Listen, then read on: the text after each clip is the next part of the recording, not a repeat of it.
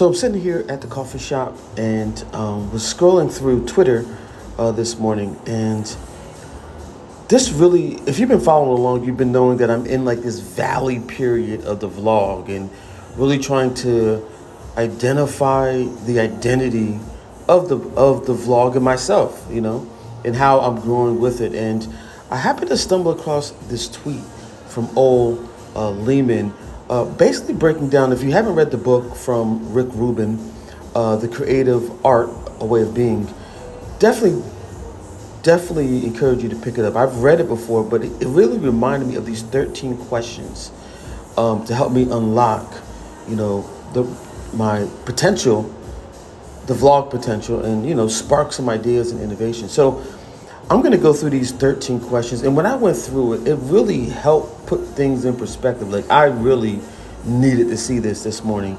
Um, so, the first question he says to ask is What excites you most about this project right now? And he really encourages you to really find the, the enthusiasm that really fuels the vlog.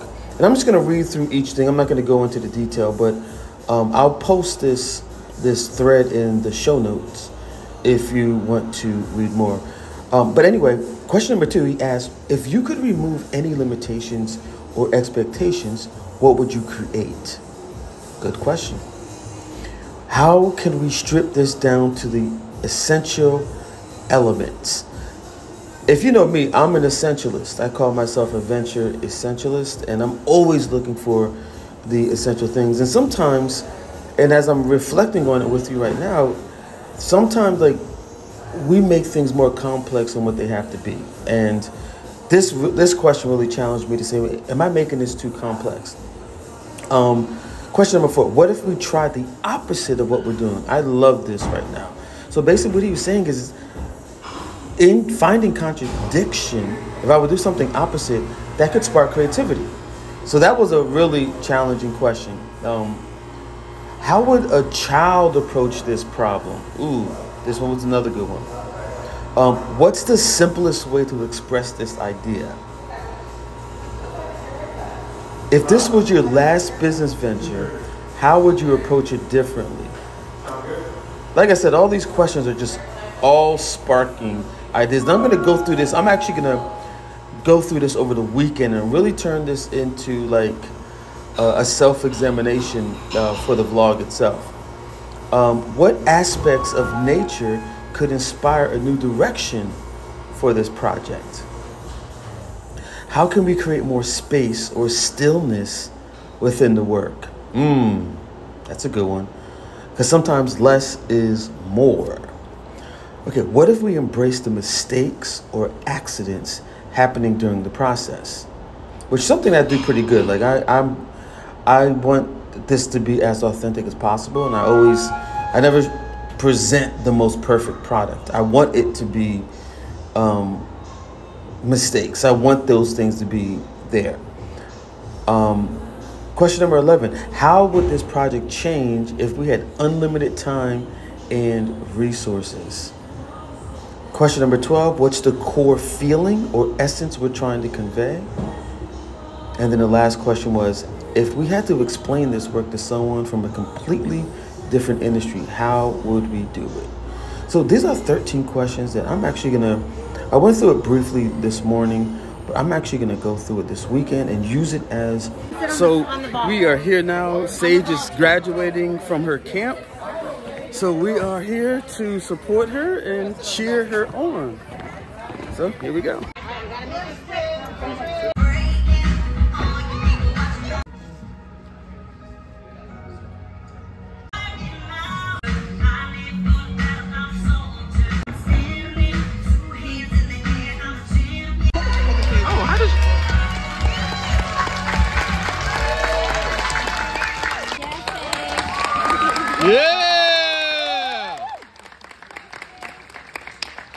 So right before I went to my daughter's gymnastic show, I had a really good conversation with a friend of mine who I would consider a, a modern Renaissance man in in regard to the way he sees the world, the way he navigates the world.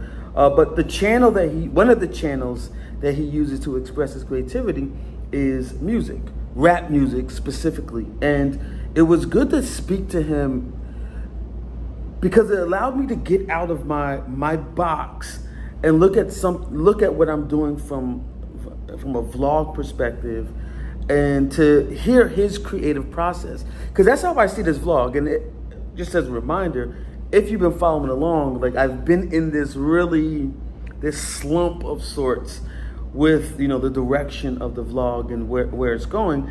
And listening to his creative process it was really good to hear like how he how he you know does his music.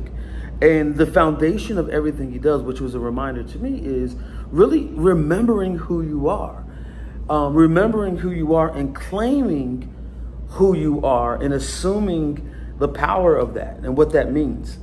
And from that place, everything flows out. So sometimes when you feel these slumps, it could be that you're trying to force that I may, that I may be trying to force something um, that's not ready right now. It's still cooking. It's still um, un, it's still unraveling, um, and I feel I, and I feel that something's shifting, uh, and I can sense that as I'm going through this this transition because it's not just the vlog itself. I shouldn't just say it's the vlog um, I'm saying it's the vlog because it, it's mirroring actually um, the my business life as well. It's mirroring that in terms of there's so many things at, on the table right now that can change the game, and it's kind of like there's friction. And as I'm capturing the vlog, you're hearing me dealing with that friction. I'm just kind of labeling it as you know the vlog. It's not the vlog. It's it's literally a mirror into my life and what I'm experiencing. I'm I'm glad I'm documenting this because I'm I, I really want to I would really want you to really hear um, how I'm navigating through it. Like hearing like my how I'm I'm I am processing everything. And yeah, it was it was just a great con- I wanted to I wanted to press play. I really want to press play, but the the conversation was so rich. Some things aren't meant to be showed. And I, you know, I filtered out that some things are meant to be shown directly to the public because it was so rich um, of a conversation. You don't want to break that human connection. And we were in it. We were in. We had a, we had a connection, and um, his music is coming out really soon. I'm really excited about it. Um, I heard it. He allowed me to listen to it um, very early for my for my input, but it, it was just refreshing to talk to an actual artist who uses music as one of the you know one of the channels in which he expresses himself. And to hear his process kind of freed me. It freed me. It really did. It really freed me on my approach not just to the vlog but to um, my business dealings as well. So stay tuned. I don't know about you but i've been seeing a lot of headlines um, about this whole monkeypox thing. I'm not trying to sound any any of the alarms. And I just kept on seeing it was like you know I'm the type of person that I'll go down the rabbit hole and I'll try to study the whole thing out. So I'm looking for like academic research papers and I, I just nerd out when I go down the rabbit hole. But anyway, that's not what I wanted to um, point out. But one of the one of the um, articles I did read was that the director of WHO, which is the World Health Organization, the same one that administered the COVID and kind of like helped coordinate, you know, shutting down COVID. And um, he basically said that that the monkeypox are like starting to break out. I think there was a case in America, in California, and you can do your research to find out why that's happening. Um, but that's not the point I'm trying to make here, so bear with me. Um, is that the governments, world governments, should start to plan for what he called, and I quote, mega lockdowns. Google it. Google it. Mega lockdowns. Like, well, I know we were in lockdown, so what the heck is a mega lockdown? So anyway, what it reminded me of as I'm on this this in this space of this slump in like the vlog direction it really reminded me one of the things that I said about why I wanted to do the vlog and stack up a lot of content is I was preparing for the next Black Swan event. The next Black Swan event. And the Black Swan event is an event that is like it's an anomaly that kind of like sweeps, you know, the globe that you don't even you don't know that's happening. Like kind of like COVID. Like it happens every hundred years.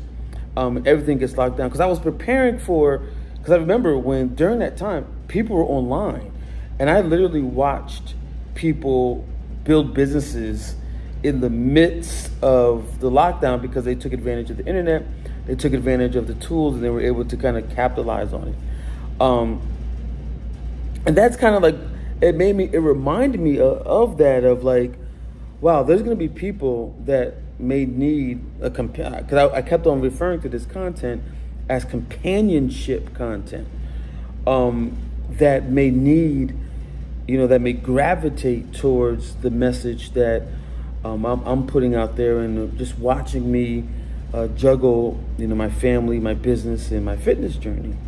And I don't want this to happen. I don't want no lockdowns, mega lockdowns to happen.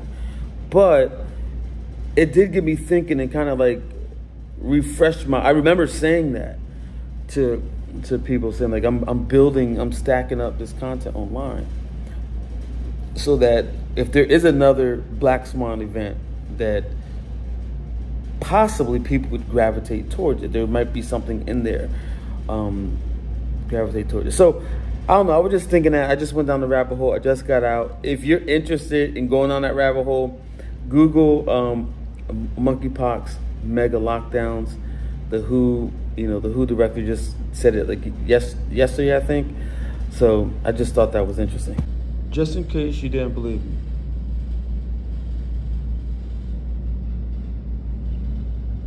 Mega lockdowns. We don't want this to happen, but this is what they're saying.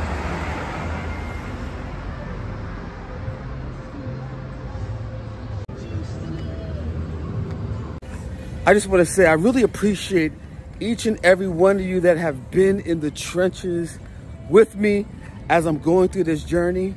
And that's what this is all about. I wanted to take you inside of the reality of being an entrepreneur. A, it's super lonely and it's great to have you along with the journey. But B, you know, we, I want to take you inside of like what people are thinking when they're going through some of the challenging times because most of the times you just see the highlights.